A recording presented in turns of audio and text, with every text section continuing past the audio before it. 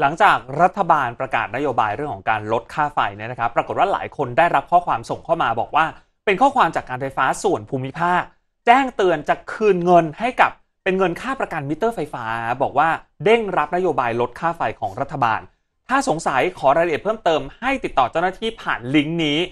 ห้ามกดเด็ดขาดคุณผู้ชมเตือนแล้วเตือนอีกนะครับว่า หน่วยงานรัฐไม่มีการส่ง SMS แล้วแนบลิงก์ให้คุณกดนะ เพราะฉะนั้น นี่น่าจะเป็นมิจฉาชีพแน่นอนพวกนี้มันอัปเดตข่าวรวดเร็วเหลือเกิน แต่เอาให้ชัวร์เราไปตรวจสอบรายละเอียดกันในชัวร์หรือโมนิมครับ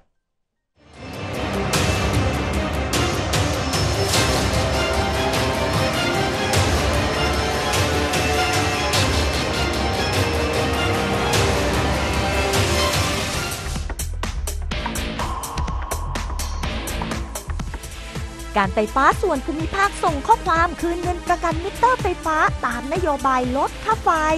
ตรวจสอบข้อมูลนี้ไปที่ทางการไฟฟ้าส่วนภูมิภาค พบว่าไม่เป็นความจริงนะคะ